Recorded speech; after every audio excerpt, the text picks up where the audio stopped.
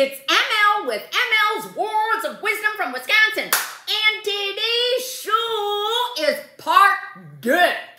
Okay, part two for those who are not Francophiles, okay? I'm gonna make peach jam, okay?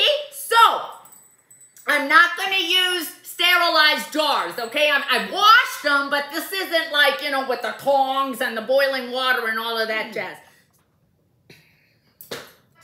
I peeled and pitted three of these beautiful peaches. So I'm gonna put them in a bowl with a lot of sugar. This is calling for two cups of fresh peaches for three cups of granulated sugar.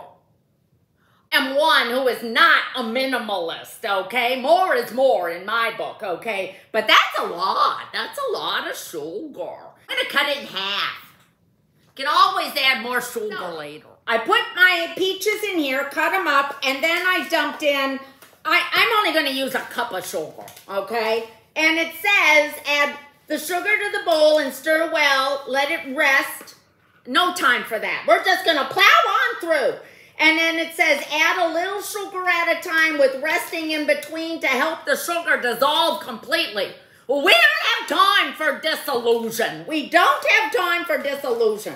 So, all right, that's good enough. I think it's dissolved. And then it says, if it's still grainy from the sugar, don't proceed until the sugar has dissolved. I like grainy jam, okay? I like grainy jam, so we're not going to rest, okay? And it says add the pectin.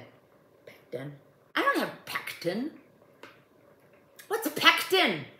Wait a minute, I gotta go on the Google and see what I can use if I don't have pectin. Okay, I went on the Google.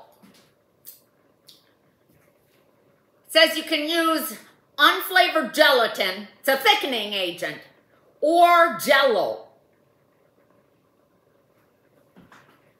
Little lemon yellow. Okay, so hasn't expired yet, that's good. Well, it's a good thing I didn't add all that sugar because now I'm going to be adding some of this to it. And I'm just going to add a little. I don't know. Like a tablespoon. We're winging it. We're just winging it. This is raw. This is real organic cooking. I don't have all of those little bowls, everything all pre-measured out and all sorts of cameras and all that jazz. This is real raw. This is Americana, cooking at home, cooking with ML. This is cooking with ML. Add a little bit more. I'm gonna add a little bit more, because why not, okay? Because we don't have that pectin, whatever that is. Little pan right here. Bring it to a boil. And that should be it, I think. Now, let me get a clean spoon. Keep it sanitary. Now the peach jam, okay?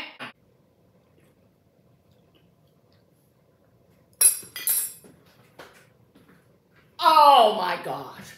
Oh my gosh. You know what?